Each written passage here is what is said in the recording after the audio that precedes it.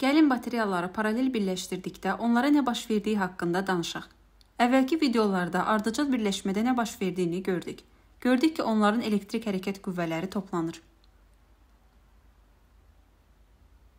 Və nəticədə daha çox gərginlik alırıq. Daha çox gərginlik üçün onları ardıcıl birləşdiririk və həmçinin onların daxili müqavimətinin də toplandığını görürük. Təkrarlamaq istəsəniz geriyə qayıdın və həmin videonu izləyin. İndi onları paralel birləşdirdikdə nə baş verdiyinə baxaq. Bu videoda görəcəyik ki, onları paralel birləşdirdikdə sonda daha çox cərəyan şiddəti əldə edirik və bunun nə demək olduğunu aydınlaşdırıb bununla müqayisə edəcəyik. Deməli, paralel birləşməyə fokuslanaq.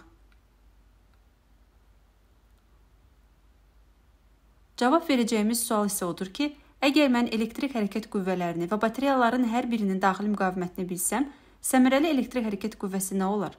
Və səmərəli daxili müqavimətin mənası nədir? Əgər mən bu birləşməni sadəcə bir elementlə əvəz etsəm, bu elementin elektrik hərəkət qüvvəsi nə olardı? Bu ikisi ilə eyni təsirə malikdir. Gəlin onu səmərəli elektrik hərəkət qüvvəsi paralel üçün P adlandıraq. Gəlin bunu biraz yuxarıda yazım. Deməli paralel üçün EP səmərəli daxili müqavimət nə olardı? Bunu necə hesablaya bilərəm? Çoxlu tənlik qurmaq istəmirəm. Məntiq etmək istəyirəm. Paralel birləşmə üçün digər paralel birləşmələrdən rezistorları yaxud kondensatorlardan xatırladığınız kimi paralel birləşmədə cərəyan şiddəti toplanır. Nəzərdə tutduğum şey odur ki, əgər bunu xarici dövrəyə birləşdirsəm, görəcəyik ki, batareyadan nə cərəyan alırıqsa, diqqət edin ki, onlar burada toplanır. Deməli, səmərəli batareyadan alacağınız cərəyan fərdi batareyadan alacağınız cərəyan şiddətinin cəmidir və mən bundan tənlik qurmaq üçün istifadə edə bilərəm. Buradakı, buradakı və buradakı cərəyanı necə bildim? Bilirəm ki, bu, bu və bunun cəminə bərabərdir. Bu bununla eyni şeydir. Bəs bunun üçün cərəyan şiddətini necə hesablaya bilərəm? Onu bir kənara əlavə etməliyəm. Bildiyiniz kimi çevrə əlavə etməliyəm. Dövrəni bağlamalıyam. Nəzərdə tutduğum budur. Bu o deməkdir ki, başqa bir rezistor ola bilər. Amma bilirsiniz ki, sadə saxlamağı xoşlayıram. İndi isə bunu sadəcə qısa kapatacağam. İndi sadəcə məni dinləyin. Əgər mən bunun uclarını birləşdirib qısaltsam nə olardı?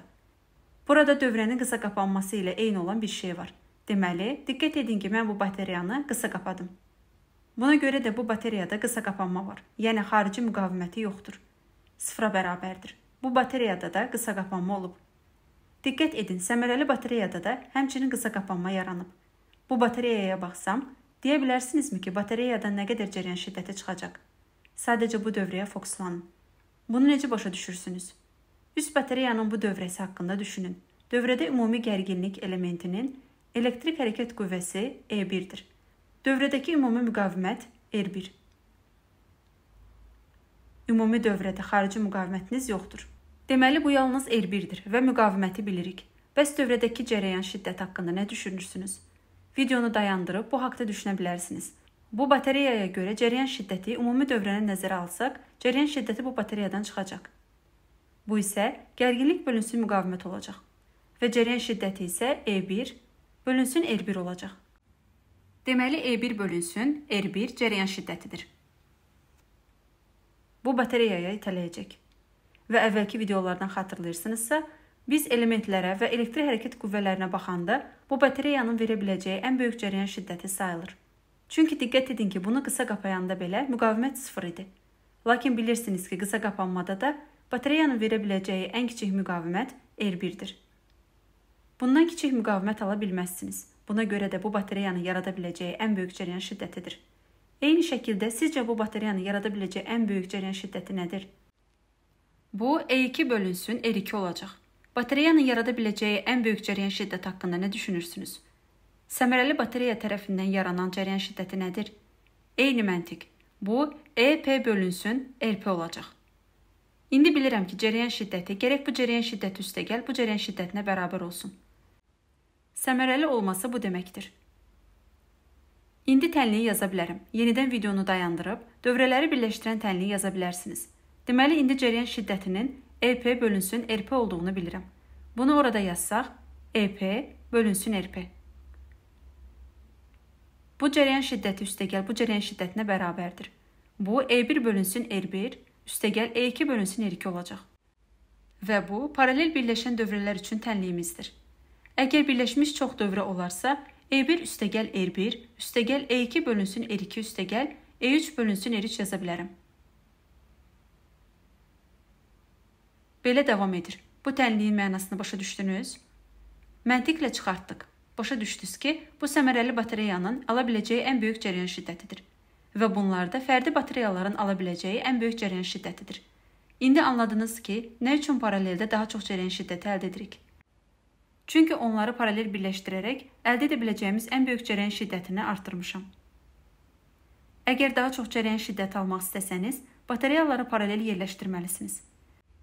Bir daha xəbərdar olun ki, əgər sizə onları düzgün şəkildə yerləşdirmək lazımdırsa, bu batareyalardan birini çevirsəm nə olacaq? Cərəyan əks istiqamətdə olacaq. Onda ümumi cərəyan şiddəti iki cərəyan arasındakı fərq olacaq. Belə ki, siz onları toplamayacaqsınız. Onları düzgün şəkildə yerləşdirməlisiniz. Yəni müsbəti müsbətə və mənfini mənfiyə birləşdirməlisiniz. Amma diqqətlə baxsanız, deyə bilərsiniz ki, burada 2 dənə məhcul var. EP-nin nə olduğunu bilmirəm. RP-nin də nə olduğunu bilmirəm. Sadəcə bir bərabərlik bilirəm. Bunu necə həll edə bilərəm? Haqlısınız. Sadəcə bu tənlikdən istifadə edərək həll edə bilmərik. Bizim iki məhculumuz var. Deməli EP səmərəli elektrik hərəkət qüvvəsi və səmərəli müqaviməti hesablamaq üçün daha bir tənliyə ehtiyacım var. İkinci tənliyi haradan ala bilərəm? İkinci tənliyi müqavimətlərə baxaraq da ala bilərəm. Çünki nə baş verdiyini bilmədən əvvəl necə etdiyimizi bilirəm. Nə vaxt müqavimətlər paralel oldu? Videonu dayandırıb səmərəli daxili müqavimət üçün tənliyi yaza bilərsiniz. Bunlar paralel birləşib. Ümid edirəm ki, cəhd etdiniz. Paralel olan müqavimətlər üçün düstur nədir? 1 bölünsün RP. 1 bölünsün R1 üstəgəl 1 bölünsün R2-yə bərabərdir. İlk olaraq R1 və R2-ni bilərək səmərəli müqaviməti hesablaya bilərəm. Daha sonra onu buraya köçürüb səmərəli elektrik hərəkət qüvvəsini hesablaya bilərəm. Paralel birləşmiş batareyalarda EP və RP-nin qiymətlərini belə hesablaya bilərsiniz. Bu ikisini müqayisə etdikdə görürük ki, əgər batareyalardan daha çox gərginlik istəsəniz, onları ardıcıl birləşdirməlisiniz. Lakin daxili müqavimət də artdığı üçün bu daha çox cərəyan şiddəti almaq üçün çox da yaxşı yol deyil. Batareyanızdan daha çox cərəyan şiddəti almaq istəsəniz, onları paralel yerləşdirməlisiniz. Çünki yadınıza salın ki, rezistorlar paralel birləşdikdə ümumi müqavimət azalır. Deməli, batareyalar paralel birləşdikdə səmərəli daxili müqavimət azalır və buna görə də daha çox cərəyan şiddəti alırsınız. Lakin biz həmişə qarışıq birləşmələr alırıq. Məsələn, xüsusi gərginlikli elektrik avtomobil yaratmaq istəyirəm. Siz batareyadan cərəyan şiddətinin müəyyən hissəsini ala biləcəksiniz. Sonra edəcəyiniz şey tələb edilən elektrik hərəkət qüvvəsini alana qədər batareyaları ardıcıl əlavə etməkdir. Və belə birləşmələri götürüb istədiyiniz maksimum cərəyan şiddətini alana qədər paralel olaraq çoxlu ardıcıl birləşmələr yaradırsınız. Bu həmişə ardıcıl və paralel birləşmə olacaq.